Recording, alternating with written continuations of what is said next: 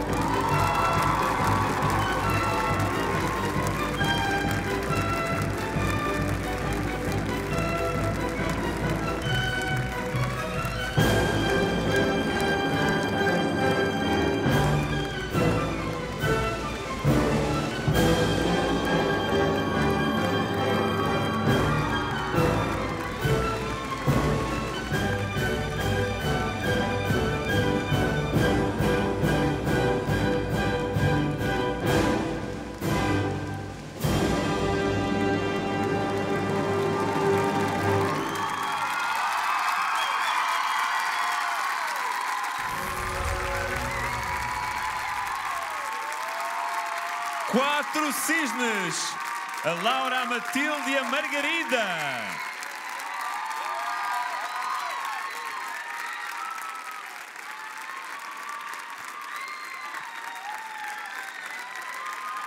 Bem.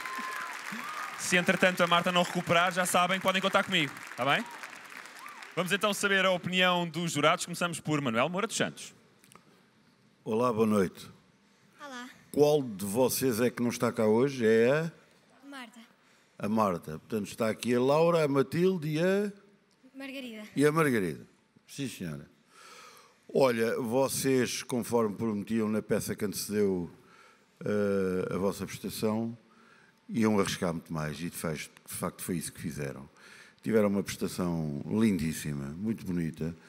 O que mais espanta eh, em vocês as três é as vossas idades e o trabalho que isto dá e o que é preciso fazer para chegar a este nível. Eu espero de facto que as pessoas votem, votem muito em vocês e que vocês sejam finalistas do Got Talent. Muitos parabéns.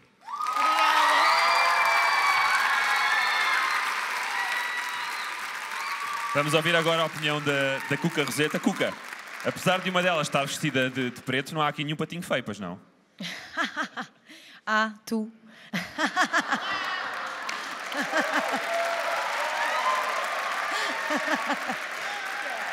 Matou-me, matou-me, não foi? Foi à caça dos patos e matou-me. Desculpa, Pedrinho, pronto, estava a Não, brincar. eu- mas eu reconheço, não sei dançar. Ahm, o que é que eu posso dizer? Eu, eu, eu fiquei extremamente emocionada ah, com esta atuação e, e o que me emociona mais a mim é a expressão ah, e a maturidade com que vocês conseguem passar-nos esta emoção, vocês conseguem contar-nos uma história, realmente, como o Manel diz, tão novinhas e a levarem isto já tão a sério, e, e isso é uma, uma beleza de se ver, é um exemplo ah, a dar a todas as pessoas que querem ser artistas. Uh, não é fácil realmente esta entrega e é extraordinário de ver e eu também espero mesmo que vocês possam ir à final. Obrigada. Passamos agora ao Filipe.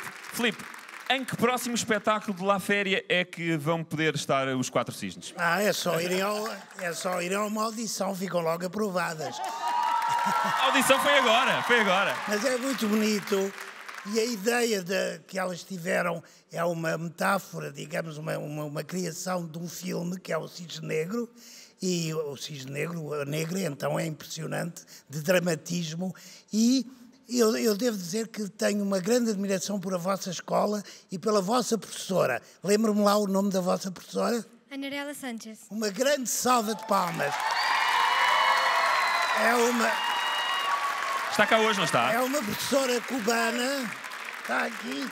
Minha senhora, a senhora é extraordinária. Extraordinária. Esta senhora veio de Cuba e em Leiria, onde não havia ter, não havia, não há teatro, não há nada, não era, ela criou, não há nada, não há Leiria, que é extraordinário, mas culturalmente é, é muito pobre e esta, esta senhora criou uma escola e vê-se aqui o resultado. Bravo, minha senhora. Merece realmente o nosso enorme aplauso. Ouvimos agora Pedro Tochas, ele também um patinho feio, não é? Eh, Tochas, a É tua eu sou, opinião. eu- é que eu sou do distrito de Leiria. Lá está, não há nada. Não há nada, cultural. pronto. Não, mas é, é uma coisa, quando nós temos a- recebemos as folhas com os nomes e a audição, quando está o nome a Escola Anarela, sabemos logo o que vai surpreender. Achei que vocês estiveram muito bem na audição e mostraram uma técnica. Aqui tiveram uma carga dramática que não tinham tido na audição. Ainda é que levaram a fasquia. Já tinha gostado imenso e agora ainda foi melhor, foi mais completo. Mostraram outra dimensão, contaram uma história, como diz a Cuca, e tiveram muito bem. E é uma pena se vocês não vão à final. Eu, eu- se conseguiram levar a fasquia da audição para agora, imagina na final. Na final vão partir isto tudo. Vai ser extraordinário. E vão provar que acontecem coisas em Leiria. Obrigado, Pedro Tochas. Já sabe, 760 100 801 é o número que tem de ligar se quiser voltar a ter toda esta elegância em palco. Para as manter em competição, tem de votar agora mesmo através do 760 100 801. Quatro cisnes. Obrigado.